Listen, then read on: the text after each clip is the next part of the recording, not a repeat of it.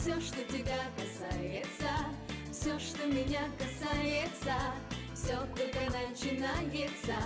Это наше все. Всем хорошего дня, друзья! В эфире программа «Наше все». И в студии с вами Андрей Козицкий и Антонина Юн. Хорошего дня вам желаем не только мы, но и наш генеральный партнер строительная компания «Водострой». Которая предлагает отличное жилье по самым доступным ценам. Мечта каждой семьи – своя просторная квартира. Строительная компания «Водострой» воплотит мечту в реальность. Квартиры в готовых и строящихся домах в Уссурийске по действительно доступным ценам. Возможно приобретение в рассрочку или ипотеку. Компания «Водострой» – ваш надежный застройщик. Совсем скоро состоятся зимние Олимпийские игры в Корее. И пусть наши спортсмены будут выступать под нейтральным флагом, все равно призываем вас болеть за нашу сборную. Давайте пожелаем им удачи и будем следить за выступлениями наших спортсменов. Уверенные результаты будут не просто хорошими, а великолепными. Ведь российской силе воли не страшны никакие преграды. Буквально через пару минут в нашей студии появится гость, поэтому никуда не переключайтесь, будет очень интересно. Кстати, о силе духа, русского духа, об упорстве русских спортсменов снято немало фильмов. Да, и лучшие для вечернего просмотра посоветуем прямо сейчас. 2 сентября 72 Монреаль. Хоккейная сборная СССР со счетом 7-3 побеждает канадцев в стартовом матче эпохальной суперсерии СССР-Канада. Настоящая битва на льду, что изменило представление о хоккее, а Валерий Харламов, забивший в том матче две шайбы, взлетел на вершину славы. Только все это кульминация истории. Главное, фильм повествует об упорстве, спортивном таланте и становлении легенды под номером 17. Его называли «чемпион чемпионов». О силе и волевом характере русского борца слагали легенды. Режиссер Глеб Орлов собрал это воедино в биографической драме «Поддубный». Простой деревенский парень, работающий грузчиком, стал шестикратным чемпионом мира по французской борьбе. В 50-е великий борец, играющий одолевал молодых атлетов, а в вопросах чести и справедливости не знал компромиссов. И только любовь смогла уложить русского богатыря на обе лопатки. Еще одна драма «Чемпионы». Пять новелл, в основе которых спортивный путь наших спортсменов. В первом фильме реальная история о жизни и победах биатлониста Николая Круглова-младшего, фигуристов Елены Бережной и Антона Сихарулидзе, сноубордистки Екатерины Илюхиной, хоккеиста Ильи Ковальчука и конькобежки Светланы Журовой. В чемпионах переплетаются любовь, предательство, дружба, уважение и труд, вера в себя и в победу. 18 февраля 2016 года в прокат вышло продолжение спортивной драмы «Быстрее, выше, сильнее». Уточнение, ведь второй фильм режиссер Артем Аксененко построен на реальных фактах из жизни пловца Александра Попова, гимнастки Светланы Хоркиной и борца Александра Карелина. Есть победы, которые меняют ход истории, победы духа страны и всего мира. Таким триумфом стали легендарные три секунды – Выигрыш сборной СССР по баскетболу на роковой Мюнхенской Олимпиаде 72-го. Никто и подумать не мог, что возможно обыграть непобедимых американцев. Никто. Кроме советских спортсменов. Золото Олимпиады 72 года – это первая в истории олимпийская победа отечественных баскетболистов. О ней в автобиографической книге «Движение вверх» написал баскетболист Сергей Белов. Эта история легла в основу фильма. Кстати, «Движение вверх» еще можно посмотреть на большом экране. В репертуаре кинотеатра «Россия» фильм до 31 января.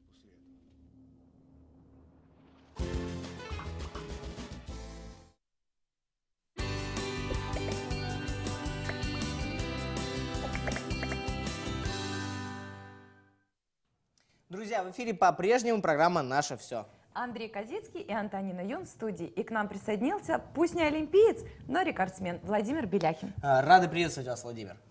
Итак, у нас сразу будет очень много вопросов к вам, Владимир.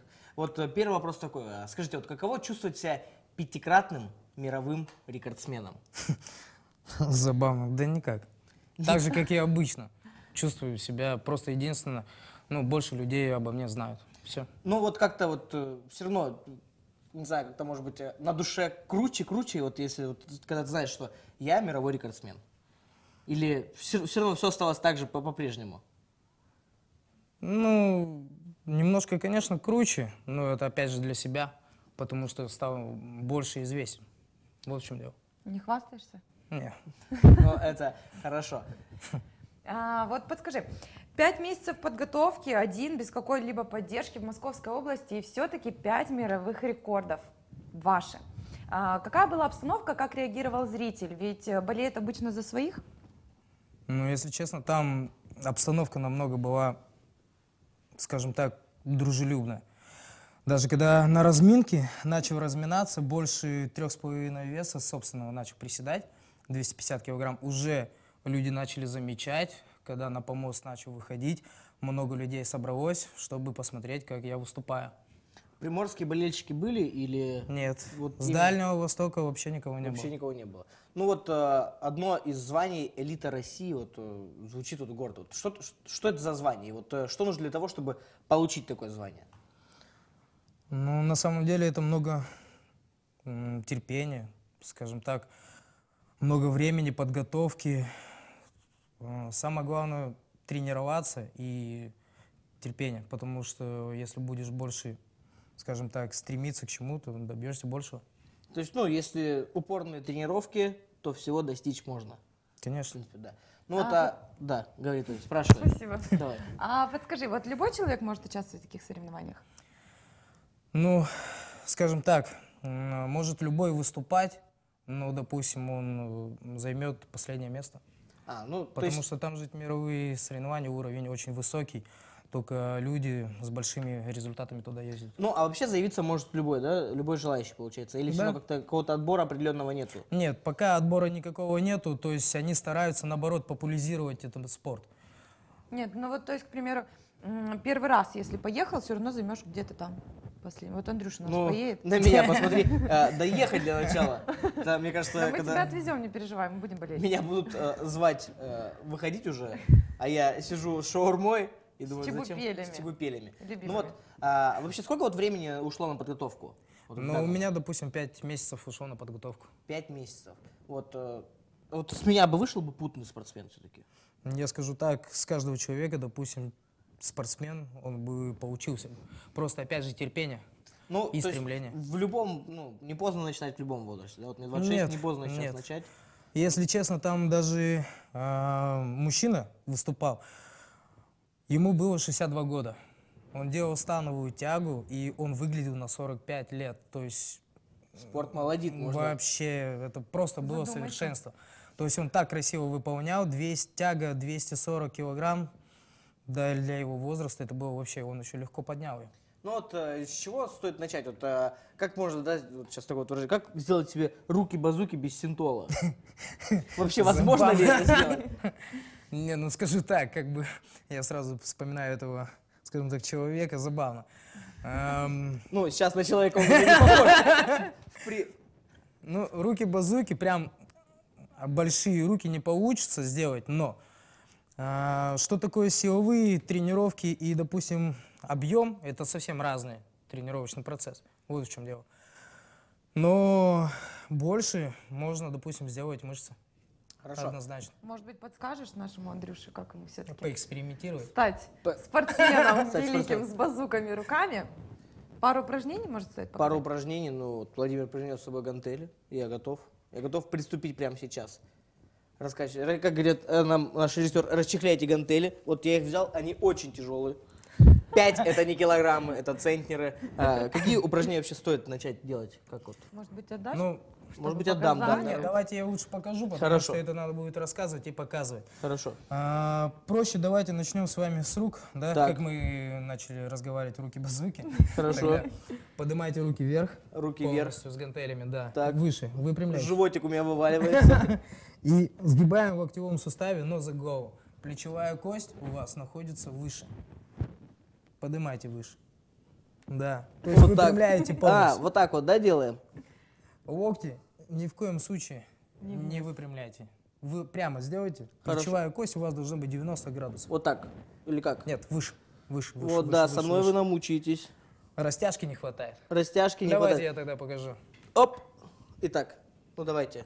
Доверим дело профессионалу. То есть выпрямляете руки вверх, сгибаете в локтевом суставе, опускаем из-за головы. Все. Хорошо. Какие еще вот есть упражнения помимо этих? Может, попробуешь это сначала? Я попробую все. Сначала я выберу самое легкое для себя и начну пробовать. Итак, Можно, допустим, сделать именно на трицепс в наклоне. так, это как? Это упираемся с вами на что-нибудь. Так. То есть либо на стол. Наклоняем корпус больше. Плечевая кость у вас параллельно корпусу. Так. То есть локоть немножко приподнимите. Так. Все. И выпрямляем в локтевом суставе. Вот так. Да. Сгибаем и выпрямляем. Тоже так же работая с вами на трехглавную Ты не упирайся сильно, сейчас стоит. Я чувствую, как я стал сильнее, Тоня. И Сейчас, если ты будешь мне Мышцы хамить, растут. мышцы растут. А, Вов, а скажи, вот, э, как вообще вот пришел к спорту? Вот, э, с чего начинал? На самом деле, я учился в институте сельскохозяйственной академии. Как бы первый год я учебе занялся, но ко мне подошел именно преподаватель, предложил заниматься именно, попробовать пауэрлифтингом. Ну, решил попробовать, и как-то месяц позанимался, выступил на первых соревнованиях, втянулся и начал заниматься дальше. Вот какой А. был первый вес? Да? Э, Вес собственный или на штанге? На штанге. На штанге. Ну, при собственном весе я тогда весил 55 килограмм. А, Я на первых соревнованиях присел 120 килограмм, пожал 70. И тяга м, 100 килограмм была. Тяга становая. Это достаточно круто. Это был первым, первый спорт, которым вы занимались, или чем-то еще до этого? До этого я занимался э, карате, дайдадзюку. Пять Какой лет. пояс по карате? Опасные люди. Черный. Черный пояс по карате. Первый, есть да. Как и думали, хамить не стоит, вот, а, да? Но вот, а, новички вот а, часто усердствуют с тренировками и живут в спортзале, вот, а, но, как нам известно, опытные смертцы говорят, когда мышцы растут, когда отдыхают. Вот, а, вот если новичок, вот как часто нужно посещать вообще, в принципе, спортивный зал? И как долго вот должна длиться сама тренировка? Ну, я скажу так. Дело все в том, то, что если, допустим, именно вы занимаетесь силовыми, то есть входите в тренажерный зал, максимум 3-4 раза в неделю вам вполне хватит. Достаточно. Да. Ты даже одного не ходишь. Ой, кто бы говорил? Я, Ну- между прочим, каждый день там. Ну, понятно, это твоя работа. И- Итак, что еще хотелось? По что времени. По времени. по, вре- сколько, по да? времени сколько, да? По времени для новичка хватит буквально 40 минут. 40 минут, это мне подходит. А каждый день заниматься не стоит. Если нагрузка, она идет, получается, 3-4 раза в неделю вы занимаетесь в тренажерном зале, а все остальные занимаетесь, допустим, другими. Это либо бассейн, либо кардио, то есть в этом, для того, чтобы именно мышцы отдыхали. Хорошо, но ш- у Тони сегодня было очень много вопросов, она меня расспрашивала. Хотела спросить, Тоня, спрашивай, что ты хотела узнать больше всего.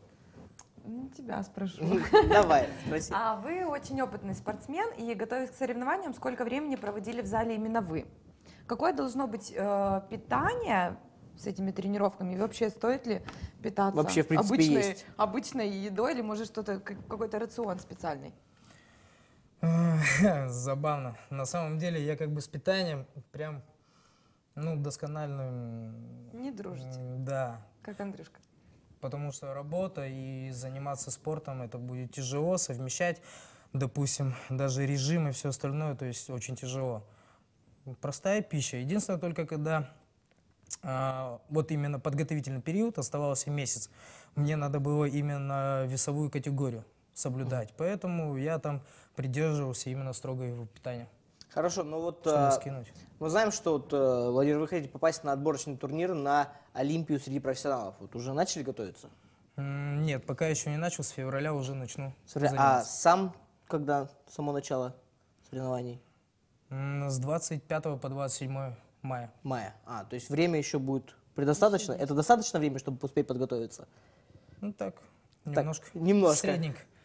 Но здорово, что, можно сказать, что будем желать удачи, болеть за вас. Спасибо большое, что рассказали и показали все на личном примере. Будем отправлять нашего Андрея на следующие соревнования, естественно. подготовим его. А вам удачи и огромных успехов. Да, и обязательно пишите, звоните нам, расскажем всему городу о ваших новых победах, друзья. Вот вы никуда не переключайтесь, мы скоро вернемся.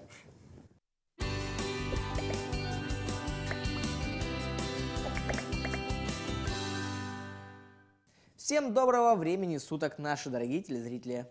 В студии программы «Наше все» Андрей Козицкий и Антонина Юн. Кстати, друзья, не забывайте писать свои комментарии по поводу нашего эфира в соцсетях. Что понравилось, что нет. Вот скажи, Андрей, ты хотел ли когда-нибудь завести себе хаски? Ну, хаски, да. Хаски очень красивые. Хаски очень клевые. Хаски – это рэпер, как нам подсказывает в ухо наш режиссер, которого зовут тоже, между прочим, Ну, Хаски. так ты можешь, кстати, его завести, потом у тебя уже есть уже две собачки? Ну, И вот- вообще одна, как бы, у меня второй кот. Но он как собака себя ведет Так я просто. про, про что и говорю. Две Так. уже есть, так что заводим хаски. Хаски легко, легко обживаются на новом месте и хорошо подходят для квартирного содержания.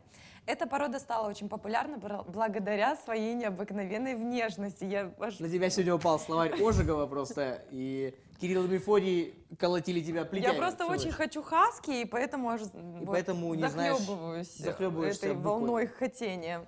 Смотри, мы бросим тебя в спасательный круг. А, хаски может быть довольно своевольным и упрямым, но если вы займетесь его обучением с детства, характер собаки преобразится в самую лучшую сторону. Эта собака отлично ладит с детьми любого возраста и может легко стать для них самым лучшим другом. Ну, а более подробно про эту породу собак узнаем из нашей рубрики.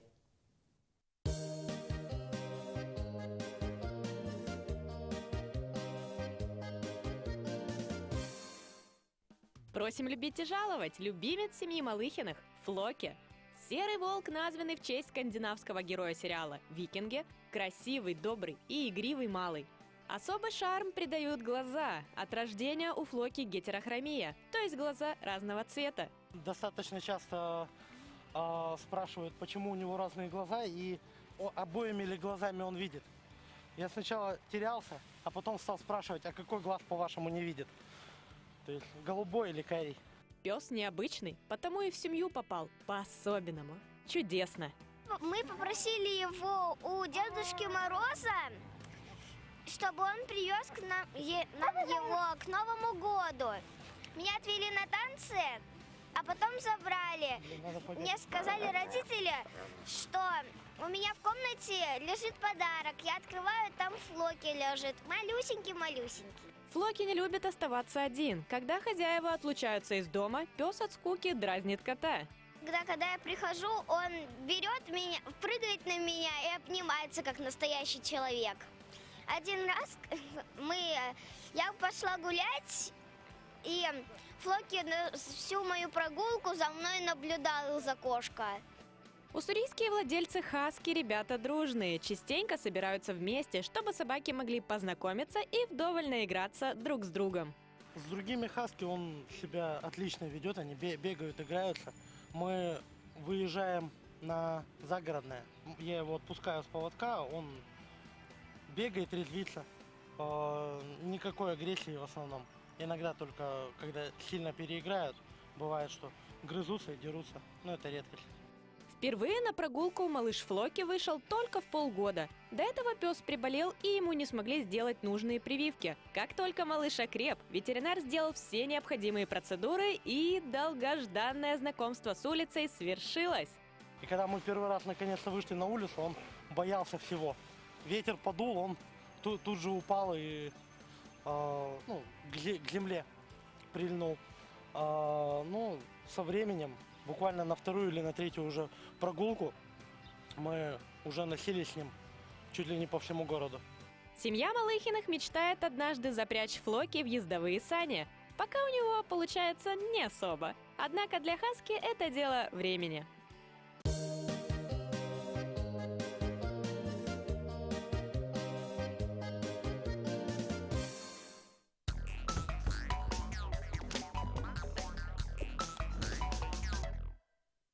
Здравствуйте. Мы сегодня с вами поговорим об интересном э, экземпляре э, нашего музея. Это э, летопись студенческого строительного отряда «Стихоты олень». Вот, оформленная отдельным альбомом.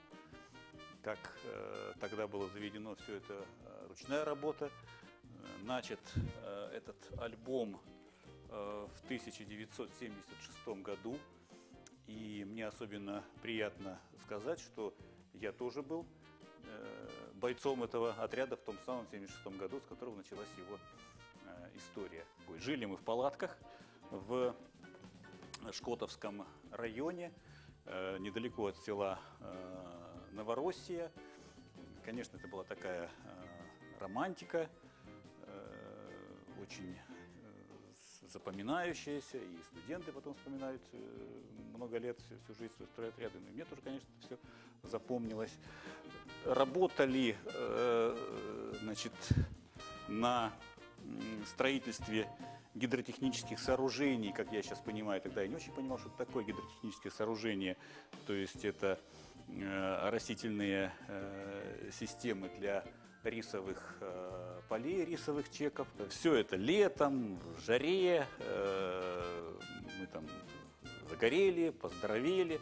И помимо всего этого, конечно, еще каждый стройотряд, и психотеолень был не исключением, в обязательном порядке вел очень большую Э, такую как бы дополнительную работу. Вот они здесь представлены по страницам. Значит, вот агитационно-пропагандистская работа, помощь сельской школе. Э, выезжали мы вот в э, Тихоокеанский на базу флота, там концерт давали, была, конечно, агитбригада знаменитая, лесные молодцы, так называемые, назывались они, гитари, значит, вокально-инструментальная группа. Шефская работа, вот помогали в уборке картофеля. Э, всяких других там э, овощей, там огурцы, капусту убирали на близлежащих э, полях. В общем, вот я думаю, что ту цель, которую преследовали создатели этого альбома тогда, когда они его начинали в 1976 году, она, конечно, достигнута. Вот он находится у нас в музее, и он является таким живым свидетельством того, что действительно стройотряды у нас были. Друзья, время нашей программы стремительно подходит к концу. Но это не повод расстраиваться. Ведь вы всегда сможете посмотреть повтор нашей программы в 8.00, 19.30 и в полночь. Или в любое время на сайте Телемикс ТВ. Чаще пишите на социальных сети. Антонина, напомни, как звучит наш профиль. Наше все, нижнее подчеркивание, ТМ. Ставьте лайки и делитесь интересными идеями и событиями. Не забывайте участвовать в наших конкурсах и выигрывать крутые призы и подарки. В это холодное время года согревайте теплом себя и всех окружающих. Ну а чтобы тепло точно никуда не ушло, обратитесь в строительную компанию «Водострой». Там знают толк в теплых квартирках.